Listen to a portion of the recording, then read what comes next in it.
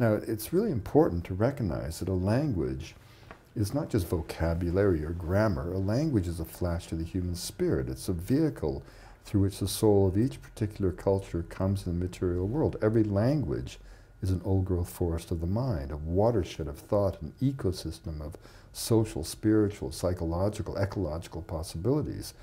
And to lose half the languages in a generation is to literally lose half of humanity's collective knowledge. Because the importance of a language is not a correlate of the number of people who speak it. The importance of a language is the fact that by definition it is a branch in the human tree that goes back for multiple generations.